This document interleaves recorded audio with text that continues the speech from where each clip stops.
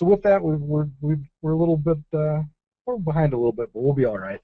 We're heading into the part of the program where we actually share our personal favorites at this time. So we'll kick off with uh, the gentleman from Atlanta and his uh, can't miss opportunity.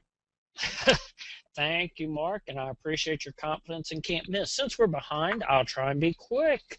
And actually, I'd planned to be pretty quick on on Teva. I figured we'd spend my time on the uh, challenge, which we did.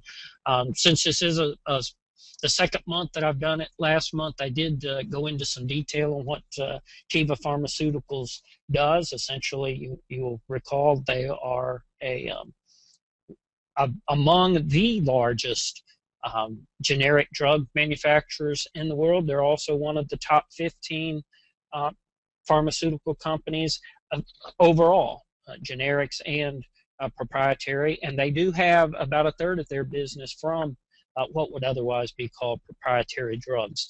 Uh, it's run up in price a bit since last month. but the par has not come down a whole lot because it's still a, a good, solid um, expectation of uh, growth and profitability going forward. Uh, the way, so I figured what I would spend uh, my presentation time this month uh, doing is just showing you uh, how I came up with uh, selecting it again. As you see, Mark um, showed this um, portfolio. I looked there, saw that it was the highest green, and pretty much those in the yellow above it um, I had various reasons for not uh, wanting to, to go with them. Uh, Jean Pen, just uh, not, um, although actually I have uh, also uh, bitten the pig and uh, owned some of it personally. I wasn't prepared to go with that. Cisco, um, we've picked a number of times and, and thought times.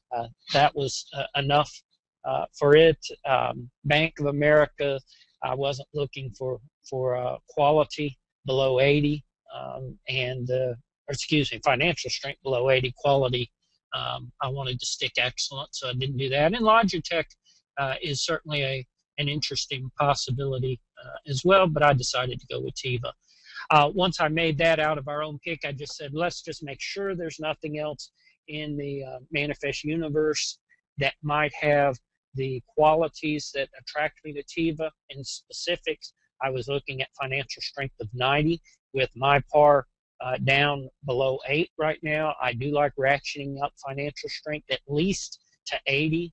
Um, but Teva's, as you can see, is 91. So I said I'm looking for a company um, that would be of higher overall and specific quality than Teva. So I use 90 to screen for financial strength and also uh, earning stability. I think uh, there is some merit um, in this time of tightening our quality standards to uh, include earning stability there. Again, more up straight and parallel um, in the tightening time. So I just uh, tossed in 70 for that criteria. And as you can see, um, Teva ranked uh, third on that list, Cisco being the only company um, that I really was interested in. I'm uh, Aeropostale is a, company I keep seeing on screens. Uh, I have to admit that I'm uh, still a little bit skeptical, though it has a good long-term record. That uh, uh clothing, st- specialty clothing, is still a little too trend-oriented for my uh, personal taste. So uh, I again picked Teva, but the arrows that you see on there were others that I looked at but disregarded. And in the interest of keeping things simple, I saw no need to nitpick past uh, manifest numbers. I find them all uh, reasonable and uh, close to uh, my own personal numbers. And par of 17.7 and a quality of 80 looks good to me. So there's my pick, doubling down on Teva. Uh, Cy, we're, we're getting the question that we got the last time you chose Teva. Uh, and I'm going to assume your answer will be the same, but I will ask the question again. Are you at all concerned with the turmoil in the Middle East affecting the Israeli economy and its prospects, specifically this Israeli company? Uh, the, you're correct, Ken. My answer is the same as last month, and it's no. Uh, Teva is uh, headquartered in uh, Israel. However, the vast majority of its business is uh, done in North America and Europe. So I'm not concerned. Okay, anything else, Ken? I know we're clear on questions, Okay. Mark. Well, thanks, Si. And I would I would point out that you you know that we agreed with you after your last pick. Uh, Teva was featured as the the stock that was in the, the monthly newsletter just a couple of weeks ago. That's right. Uh, thank you, Mark, and uh, uh, that's good. And and I also uh, will mention that uh, I noticed your um, deep value screen that you just posted also had uh, Teva in there, which was a reinforcer in Yeah, it's gonna- pick. So It's going to show up there also. Yeah. All right, Mr. McManus is uh, apparently climbing around in the trees in the Amazon rainforest or something, so I'm going to have to pinch hit for him for a minute. This is also a repeat selection. I believe he selected Bank of America, and it has performed fairly close to the market since the time of selection. I think that's at least twice. Um, this is not a selection for the faint of heart. Now, many of us in the community have uh, not yet really forgiven uh, the financial services or any of the financial sector companies for what they put us through.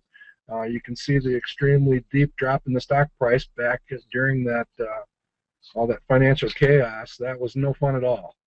No fun at all, but it, it has recovered thanks to a, a, a lot of stuff, a lot of intervention and various things. Um, you will notice that uh, that that I, I have basically removed all of these co- these years from the analysis because this is a basically a brand new company. It is now the combination of Bank of America, uh, Countrywide Financial, and Merrill Lynch. So you really can only look at the company as it formed in the middle of all that chaos and then start making your projections about what that might look like going forward. And again, Hugh, Hugh's outlook on this, I can I can sum it up pretty well. About a year ago, when uh, BP was faced with that disaster, that nightmare down in the Gulf of Mexico, I know that uh, Hugh actually added some shares of BP at that time, thinking that uh, wow, it just it just can't get any worse than this, and you know, just kind of crossing your fingers. And uh, I think he kind of sees that situation here too. I mean, the world is still a very nasty, turbulent thing for the for the banks, and that's what's helping to hold the prices down at uh, relatively low levels, the return at returns at relatively high levels. But he actually sees this company as you know fairly well managed, probably returning to some notion of historical return on equity levels. Um, I should mention that the, uh, when I prepare guides, I, I look at uh, this is actually book value that we're plotting up here at the top, book value up at the top, earnings at the bottom. So the distance between these two lines would literally be the, the return on equity. And if, if this company actually returns to normal ROE, return on equity levels, I mean, it would be very natural for the earnings to be somewhere in this range. And uh, based on that is, is, is how you, you basically derive a, a, price for a company like Bank of America. Again, we're talking about a company that could grow at 7%, uh, could return to uh, you know fairly normal return on equity levels. It's obviously been uh, really a train wreck over the last couple of years. By the way, the uh, Bank of America used to routinely achieve 15 to 20 percent return on equity back in the pre pre-chaos days. So it'd be natural to assume that it could, uh, if they're well managed and fortunate, uh, to get back into those type of levels. So again, those are the two magic numbers in the analysis. Um, it, it's still kind of a deep value opportunity with a projected elevated projected return of you know close to 20%. But again, he's he's basically doubling down um, or tripling down, I guess, in this case. Um, we did throw a couple of other second opinions in there. Morningstar has a fair value of 18 versus the price today of 11.46, so they have, actually have a buy rating on the company. Um, Standard and Poor's has a fair value, in other words, uh, you know, a fair price to pay for it today, very close to the current price, and that also probably is providing some of the downward or the restraining pressure on the company's stock price at this time. Uh, S&P uh, has quite a bit of weight, quite a bit of influence with something like that, and uh, that's probably not helping at all. So his selection for this month is to again make a, a, repeat selection of Bank of America, and I'm sure he's got his Irish fingers uh, crossed a little bit on this one.